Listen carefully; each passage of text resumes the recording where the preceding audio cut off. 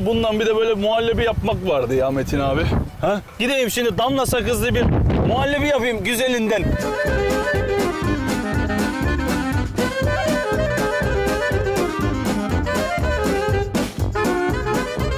Efendim sakız ağaçlarının dünyada en sevdiği coğrafyadayız. Buyurun sakız ağacımız. Damla sakız ağacı değil mi Osman Damla abi? sakız ağacı. Kokar mı? Yap. Kokar. Koklayın bir tane. Kopartın koklayın. Uh mis gibi damla sakızı. Çeşmeye gelmişken damla sakızından yapılan ürünleri anlatmak lazım. En güzel mesela en güzel ürünlerden biri damla sakızlı muhallebi. Muhallebi. Muhallebi hazırlayacağız. Damla sakızına artık ulaşabiliyorsunuz. Aktarlardan her yerden Evet, alabiliyorsunuz. Osman abi çok güzel bir damla sakızlı muhallebi tarifi verecek bize. Bunu kaçırmayın. Çok seveceksiniz. Ömür boyu bunu yapacaksınız mutlaka bu muhallebiyi. Bu başka. Şimdi malzemelerimizi anlatalım Osman. Malzemeyi anlatalım. 3 kilo sütümüz var. Ee, yaklaşık 1 kilo olarak şekerimiz var. Evet.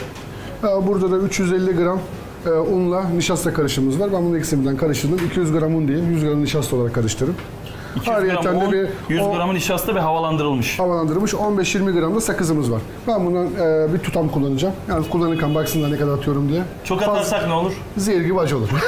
Bunun bir ayarı var ya. Bunu çok apa- aman güzel güzel damla sakızı koksun dersin. İki tutam atarsan zehir olur. Acı olur. acı olur. Bir kararı var, ölçüsü var. Fazla atmıyorsunuz. Yaklaşık şöyle diyeyim 7-8 diş alsınlar. O kadar. O kadar, Bir fazlası tutam yani. Malzemelerimiz burada. Sakız ağacımız bizi izliyor. İki tane böyle kabımız gerekiyor. Karıştırmak Normal. için ve koca bir tencere ve Tenceremiz var. karıştırıcımız var. Bunda önemli olan anladığım kadarıyla, bildiğim kadarıyla unutmadıysam karıştırmak çok önemli. Çok önemli. Çırpmak. Sürekli bu kol çırpmak. Sürekli çırpacaksınız. Tembellik yok. Hazırlamaya başlayalım Osman abi. Başlayalım. En lezzetli muhallebi için hazırlıklar başlıyor. Şekerimizi tepsi alalım. Tabii sütümüzü de alacağız. Diğer sütümüz kalacak. O 1 kilo kalıyor. O 1 kilo kalacak. 2 kiloyu gönderiyoruz şekerimize. Şekerle beraber. Şeker ne kadardı? 1 kilo efendim. 1 kilo şekere 2 kilo süt.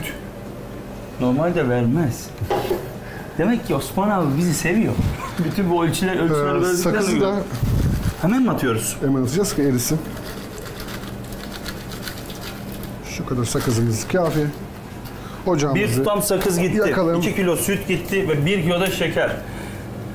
Ocağımızda karıştırmaya başlıyoruz. O sakızlar kendisi eriyecek ısıyla beraber. sütümüz Yok kaynasın. olacak. Ellemeyelim.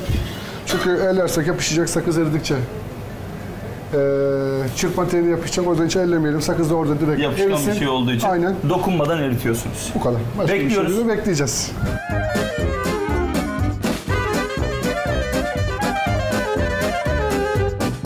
Sütümüzü kaynattık.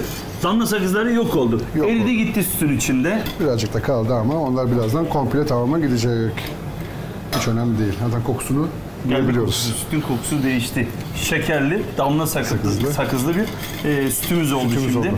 Bundan sonra ne yapıyoruz? Bundan sonra hazırladığımız, havalandırdığımız karışımı Evet. ayrı bir kaba döküyoruz. Sütümüzü de alıyoruz. Diğer 1 litre sütümüzü Bununla beraber e, karıştırıyoruz. 200 gram un, 100 gram da nişasta vardı havalandırılmış. Onun içine katıyoruz. Katıyoruz. Kabın içine. Ondan sonra yine çırpma işlemleri biter mi? Çırpma Bitmez tabii. işlemimiz bitmiyor. Asıl şimdi başlıyor. Şimdi başlıyoruz işimiz. Bunu burada iyice bir yediriyoruz. Hazırladığımız karışımı yeniden süzüyoruz. Buradan süzgeçten Yani sen içinde hiç geçiriyoruz. böyle pütür pütür şeyler olsun istemiyorsun. kalmasın. Ondan sonra bunu iyice tekrardan alıyoruz. Karışımımızı. Zaten burada bu bitiyor. Kaynayan sütümüze bunu ilave ediyoruz. Ama nasıl güzel kokuyor. Osman abiciğim. Şimdi, başlıyoruz asıl şey şimdi başlıyor. Burada hiç bırakmadan Ne kadar karıştıracaksın? bunu ne kadar karıştıracağız? Yaklaşık bir 2-3 dakika Evet. boyunca hiç durmadan bunu karıştırıyoruz. Şu anda görüyorsunuz başladı yavaş yavaş köpük vermeye. Köpük verdikten sonra bir kere daha karıştırıp ocağımızın altını kapatıyoruz.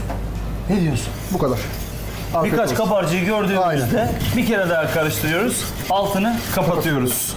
Ondan sonra tepsiye döküyoruz. Tepsimize ilave edeceğiz.